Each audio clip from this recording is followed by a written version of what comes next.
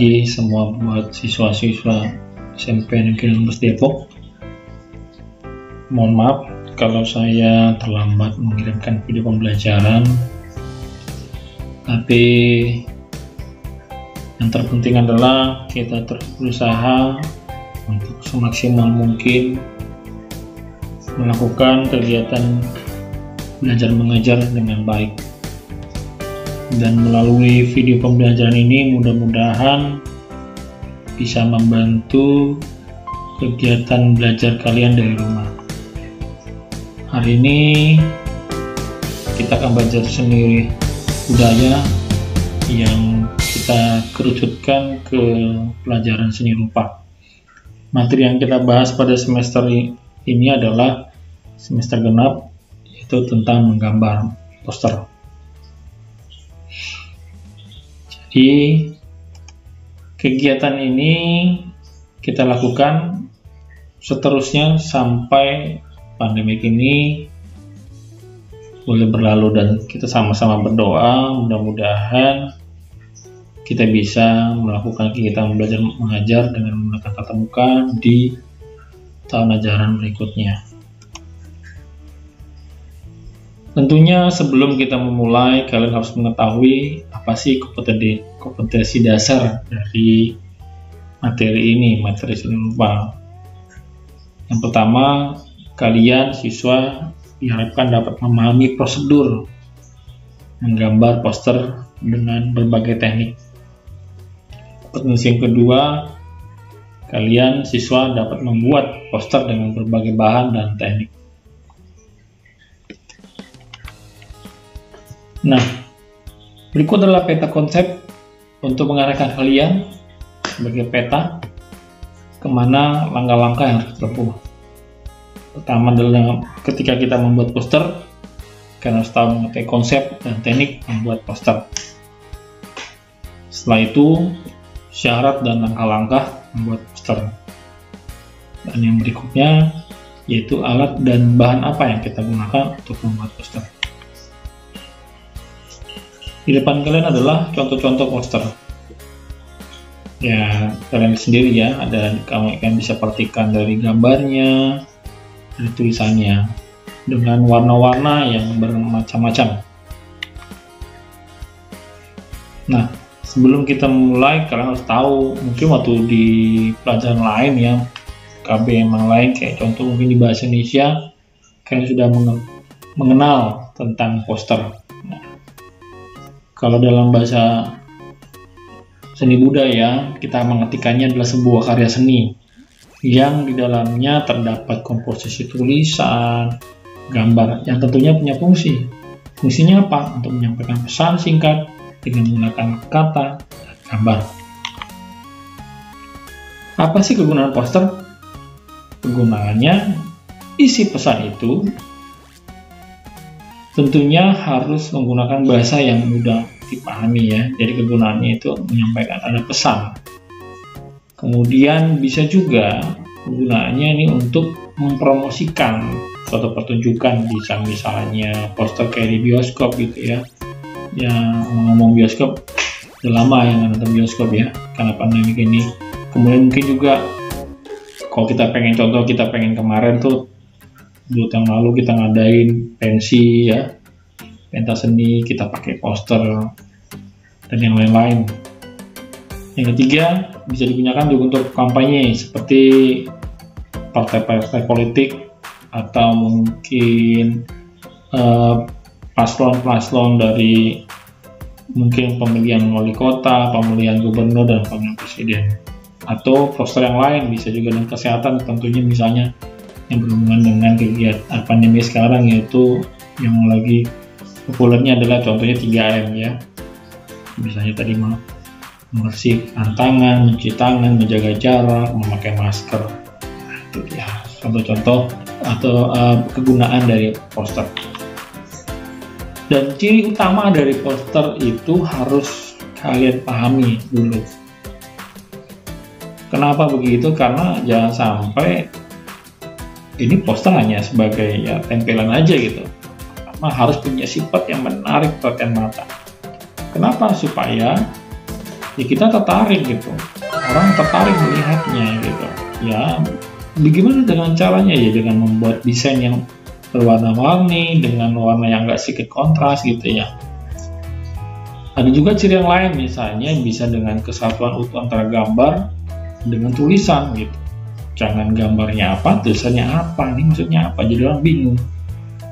Dan bisa juga ditambahkan di dalam pasal itu diusahakan menulis dengan singkat, tapi pesannya kuat dan jelas.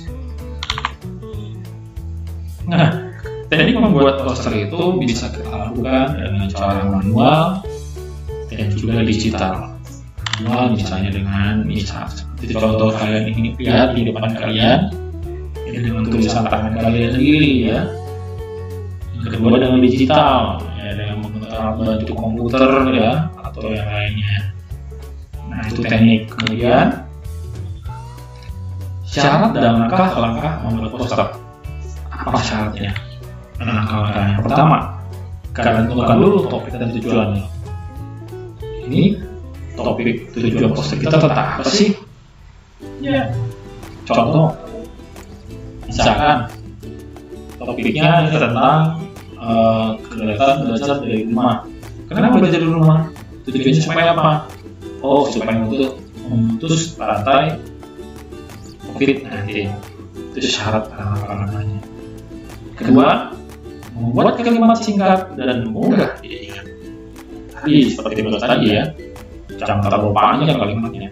Pokoknya 3M. Apa sih 3M? Nah itu orang kalau ingat kan. Kemudian buat kembali jelas sesuai dengan tulisan tadi.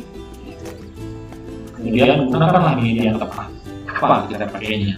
Pakai kertas, pakai kain, atau pakai media yang lain. Itu syarat-syaratnya. Kemudian selanjutnya, syarat yang pertama tadi sudah dijelaskan ya, harus menentukan tema kenapa supaya pesan jelas pesan yang kita sampaikan apa. Kalau tadi tambahkan di sini misalnya tema tentang anti korupsi. Berdasarkan tema tersebut kemudian kita mulai pikirkan bentuk visualisasi seperti apa ya kalau anti korupsi terus kata-kata yang digunakan kayak gimana ya supaya memperkuat gambaran visual tersebut Contoh, stop korupsi. Kedua, dengan X gitu ya, bisa. Yang kedua, kita bisa juga dengan menggunakan membuat kalimat yang singkat dan mudah diingat. Pokoknya, buatlah kalimat singkat supaya dibaca dalam waktu dalam beberapa detik saja. Jadi kalau misalnya lagi jalan atau lagi kita bisa oh gitu. 3 M, oh di anti korupsi, oh jagalah kebersihan. Jadi orang masuk oh iya teringat gitu ya jadi jangan kepanjangan ya jagalah kesehatan badanmu dengan gini-gini gimana kamu bisa lihat ya dengan waktu singkat contohnya ini nih jalan tol 100 meter. Jarak aman supaya ingat gitu ya. Jangan mepet dari kalau di mobil. Kalau naik mobil biasanya suka tuh yang diingetin itu jalan tol 100 meter jarak aman.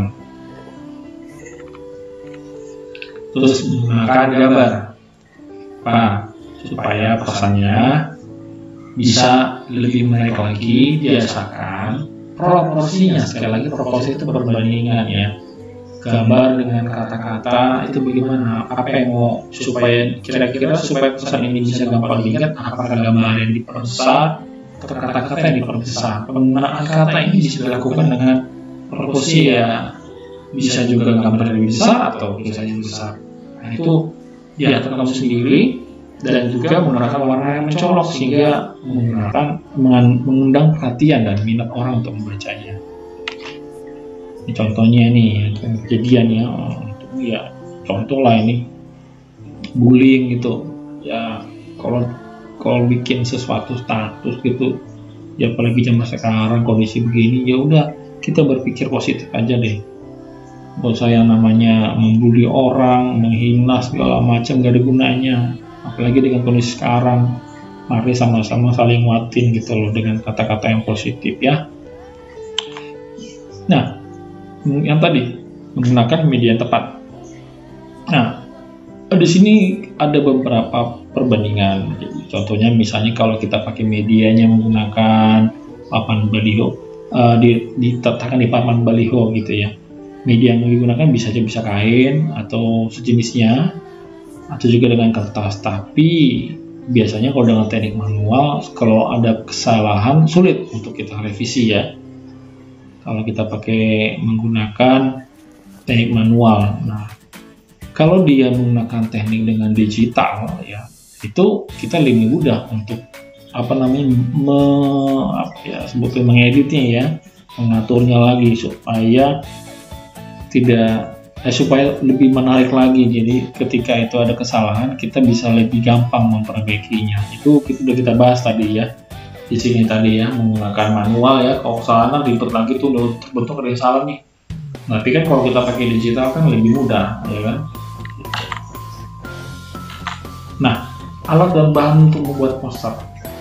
Yang pertama yang sering didapat kita lah pastinya pensil ya. Kita bisa pakai pensil kurang lebih dari 2B sampai 6B ini contohnya. Kemudian bisa gunakan pulpen. Ya pulpen itu bisa bermacam-macam pulpen ya tujuannya apa untuk memberikan karakter tegas gitu pada garis-garis gambar contohnya yang ketiga dengan menggunakan kuas lukis. Ya ini biasanya kita gunakan untuk di atas kain atau di atas kanvas untuk menambahkan gambar-gambar yang menarik ya di dalam posternya ada dua macam cat bisa pakai cat dasar minyak atau juga bisa dengan cat berbahan dasar air. Tergantung kemampuan kamu kebiasaan kamu di mana sehingga pada saat membuat poster kita bisa menggunakan cat sesuai bahan media yang kita gunakan ini contohnya kelas. Kemudian ada juga di kita menggunakan komputer. Itu tadi dengan digital tadi kita lebih mudah tentunya mengedit-edit kayak saya contohnya tadi menggunakan Eh, media-media yang ada di dalam Google. Saya pakai nih di Google Slide tambahkan ini tambahkan gambar munculkan tambahkan tulisan tinggal mengedit. Itu sangat mudah sekali dibantu dengan menggunakan komputer ya. Tentunya juga ada program bermacam program ya. Ya ada di sini kamu lihat ya ada ada Adobe ada Photoshop segala macam foto line kita bisa berbagai macam produk aplikasi yang bisa kita gunakan untuk mengedit atau membuat poster. Kita langsung aja uh, karena kita sudah berlalu, berlalu dua minggu, kamu kerjakan latihan soal ini. Ini kita bagi dua, ada latihan soal pengetahuan, ada latihan soal keterampilan. Yang pertama ini, yang pengetahuan, kamu nanti tuliskan di buku tugas kamu nanti seperti biasa kamu foto kemudian kamu kirimkan ke Google Classroom yang nanti saya buatkan uh, formulirnya Google, Google Formnya. Dan untuk keterampilan seperti biasa gambarnya ini dibuatkan uh, apa namanya mohon maaf di sini bukan gambar salah satu biaya gambar ilustrasi sesuai dengan kelompok masing-masing. Kamu maksudnya ini gambar jenis gambar poster ya yang sudah kamu tentukan dengan kelompok masing-masing. Tapi kita kualifikasi kita apa namanya kita ganti menjadi pribadi-pribadi atau individu-individu. Kerjakan sesuai dengan prosesnya kemudian seperti biasa kamu dokumentasikan kamu kirim hasilnya kamu buat dalam bentuk video nanti. Seperti biasa kamu upload ke link YouTube kamu nanti kirim ke saya linknya. Mungkin itu saja yang bisa Bapak uh, bagikan ke kalian. Selamat mengerjakan dan tetap belajar dari rumah.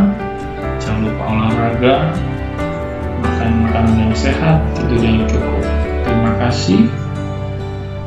Sekali lagi Salam sehat.